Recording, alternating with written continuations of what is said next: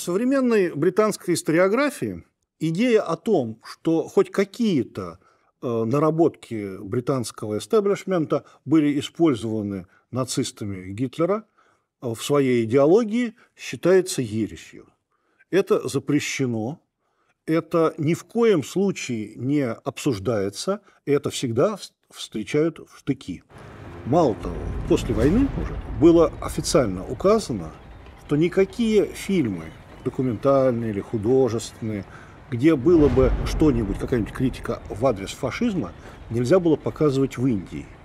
Потому что зрители индийские могли выстроить параллели между британским колониальным владычеством и идеями, высказываемыми нацистами. И по большому счету, созданный именно англосаксами принцип коллективной вины, который они очень упорно внедряли в немецкий народ, это одно из важнейших составляющих того, что они к этому не имеют никакого отношения вообще. Константин Залесский, вице-президент Ассоциации историков Второй мировой войны, автор энциклопедий, книг и статей по истории нацистской Германии. На самом деле ситуация значительно более сложная.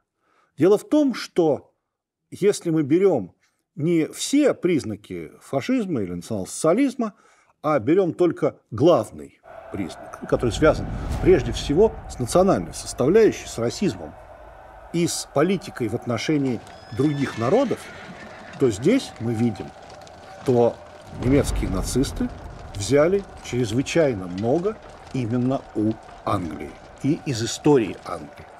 Причем это абсолютно не скрывали руководители нацистского режима, Гитлер, Геббельс, Гиммлер, которые постоянно в своих выступлениях или просто в общении, что было зафиксировано, делали отсылки к истории Англии и к наработкам британской истории. В принципе, именно развитие британского общества, британской колониальной империи сформировали именно тот самый подход к другим расам, который был полностью воспринят нацистской идеологией. Это презрительное отношение к другим народам. В свое время было очень четко подмечено, что англосаксы были единственной расой на Земле, которая уничтожала всегда других.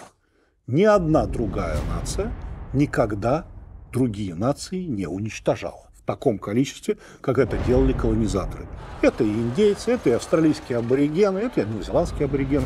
То есть это именно английские наработки. Мало того, прекрасно известно, что и первые концентрационные лагеря, и само название концентрационный лагерь появилось именно в лексиконе англичан во время англо-бурской войны.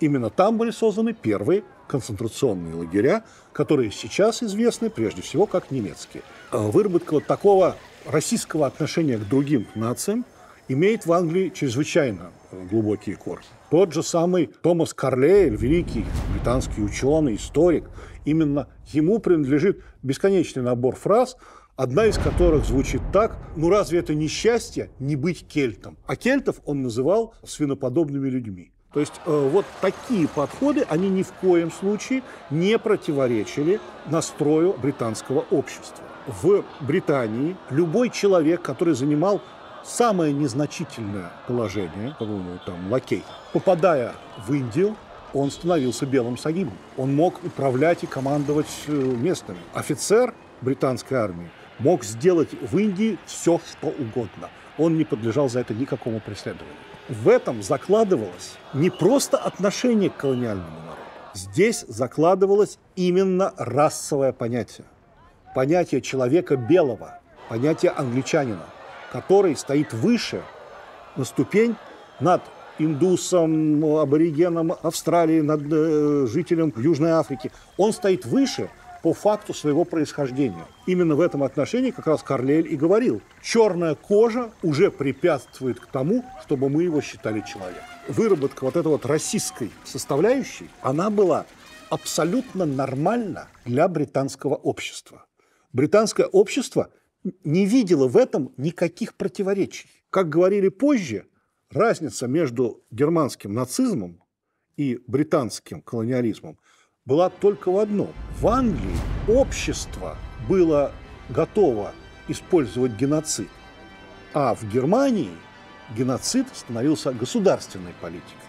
Но в Великобритании были выработаны вот эти вот главные российские постулаты, которые позже великий британский поэт Реньярд Киплинг назовет бремя белого человека. То есть белый человек несет цивилизацию вот всем вот этим вот народам, и это его миссия.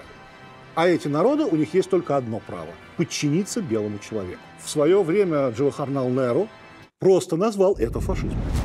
Он не стал разбираться в тонкостях и признаках фашизма, он просто сказал, что это две стороны одной медали. И эта российская теория была полностью воспринята именно э, Гитлером и его окружением. Он неоднократно возвращался к мысли, что политика Германии на Востоке должна иметь в качестве своего образца политику Англии в Индии. И как раз Гитлер заявил, что только у меня хватит сил и хватит воли повторить политику англичан в Индии. То есть остальные просто не смогут это сделать, потому что нужно быть чрезвычайно жестоким человеком.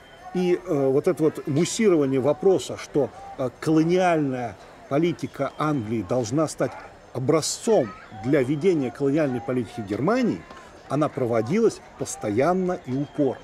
Например, фильм «Жизнь бенгальского драгуна» Гитлер потребовал, чтобы показывали всем э, новобранцам войск СС, чтобы они видели, как надо относиться к местному населению. Мало того, ведь э, именно в британское общество породило на свет Хьюстона Чемберлена, который в свое время написал э, основы XIX века, э, в которых э, полностью изложил ну, на основе, естественно, там и теории Габино, и других э, российских теорий, он полностью сформулировал вот ту самую расовую теорию, которую прочитал Гитлер, и очень она ему понравилась, он ее заимствовал. И Чемберлен уже будучи пожилым человеком, он жил в Байройте, э, в Франконии, он был женат на дочери Вагнера. И вот он встретился как-то с Гитлером, это был, он же был пожилой человек, и сказал после этого, это человек, который возглавит и спасет Германию. То есть он дал, ну, условно говоря, Гитлеру путевку в жизнь. Хьюстон Чемберлен был сыном контр-адмирала британского флота, то есть принадлежал вот именно к этой самой, к той самой прослойке, о которой мы и говорим, где и процветал вот этот вот самый расизм. Кроме того, в расовой теории Гитлера англичане изначально считались расой господ. И э, это полностью соответствовало мнению о себе британского эстеблишмента. Они тоже считали себя расой господ. Причем этих заявлений ну, их настолько бесконечное количество. Весь 19 век им просто переполнен. Каждый уважающий себя политик, член палаты лордов, член палаты общин, представитель англиканской церкви обязательно что-нибудь по этому поводу сказал. Поэтому фашистские течения в Англии, они значительно отличались от фашистских движений в других странах. Все дело было в том, что английское общество относилось своим фашистским движениям, ну, как бы достаточно свысока, и вопрос, а зачем? Потому что те идеи, которые говорили фашисты английские, они, в общем, абсолютно не отличались от идей британского общества. И получалось, что смысла в существовании фашистских движений в Англии нет. Потому что они говорят банальности. И тот же самый британский фашистский союз Освальда Мосли в общем и целом выступал со всеми теми же идеями, которые присущи британскому обществу, только выступал с несколько более радикальных позиций и все время, время от времени ударяясь в критику капитализма. Что вот совершенно не нравилось британскому эстаблишменту.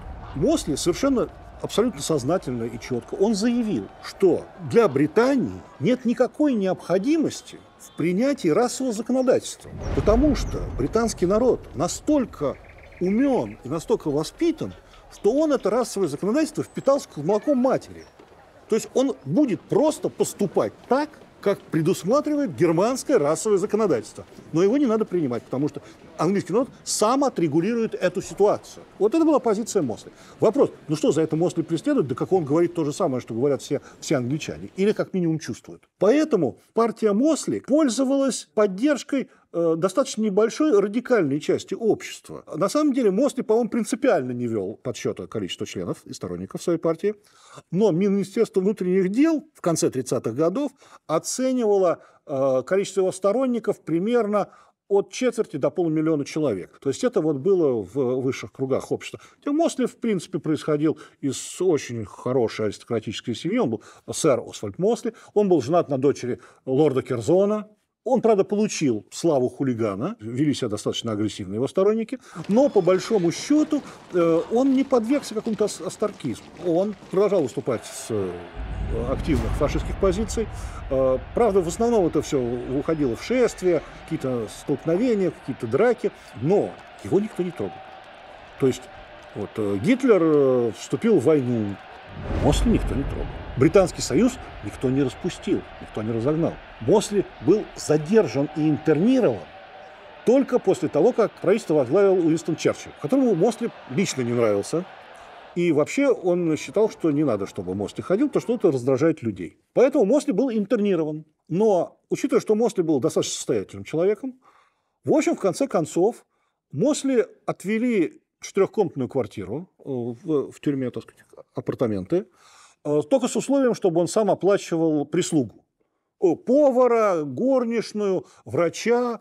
Э, но у Мосли были, ну, он не был ограничен в поэтому он провел это время войны с комфортом. А после войны Мосли был освобожден потому что он не совершил никаких преступлений. Он э, э, ходил по улицам, выступал, но ведь он ни в кого не стрелял, он ничего не призывал. Вот и все. Мосли был освобожден, и, учитывая, что он был человек неугомонный, он вернулся в политику, ну, так сказать, там, попытался, там, посоздавал какие-то партии, ну, то есть вел себя достаточно активно до старости лет. А после его смерти его сын написал о нем вполне большую книгу, которая была издана э, на Британских островах. То есть британский фашизм как таковой – он э, особой роли не сыграл в истории фашистских движений Европы и мира. Имеется в виду как движение. Но вклад английской нации в теорию расового фашизма, в область расовой политики можно рассматривать как колоссальную. И когда мы говорим, например, о генеральном плане ОСТ, созданном для нашей страны, то здесь очень хорошо видны английские уши. you